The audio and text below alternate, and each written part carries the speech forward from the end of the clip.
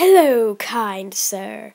I was wondering if I could get the message out on your computer that starting tonight, if Batman doesn't unmask himself, people will die. Now, I would like to say goodbye to you. Ah. Now, hello, fellow citizens of Gotham. Starting tonight, people will die if Batman doesn't unmask himself.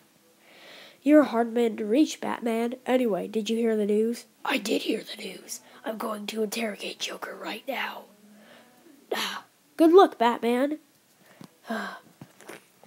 Who, who's your targets? Who are your next targets? Ah, my targets are Harvey Dent and his little girlfriend.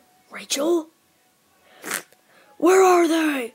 One, Harvey Dent, 2022nd Street, Rachel, 209 Street.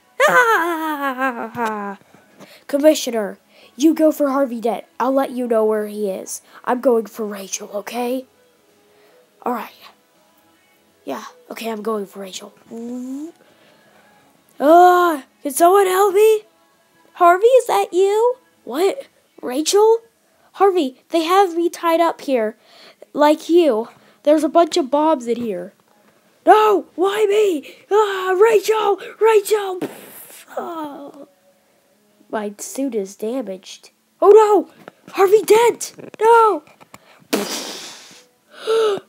no!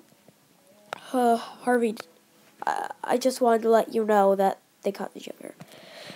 Ah! I'm gonna kill him! You don't have to do this, Harvey. He took my family. Oh!